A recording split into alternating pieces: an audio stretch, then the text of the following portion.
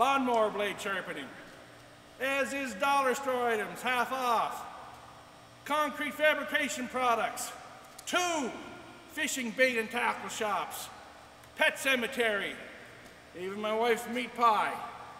Businesses in Ward 16 are as diverse and exciting as its constituents.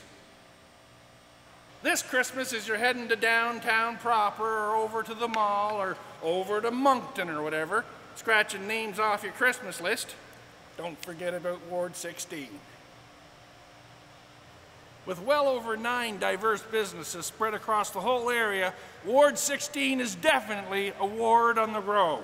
We have a. Uh, wait, hold on, I got a. Freaking thing never stops dingling. ah, shit. Take five. I gotta take this. Stacy! Oh, no, no, you are bothering me, Stacy. I'm, I'm shooting a film. I'm shooting a Christmas commercial film. Who's trying to boost support for the war? Stacy, that's the reason you're calling me. Yes, I'm using the money. Stacy, I don't have time for this. I'm trying to shoot a commercial. Stacy, look, Stacy, I gotta, I gotta go. Uh, uh, she hung up. Good. Good for her. Hung up. Where were we?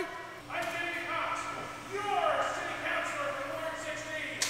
And this Christmas, I'm here to shoot one in the neck for you.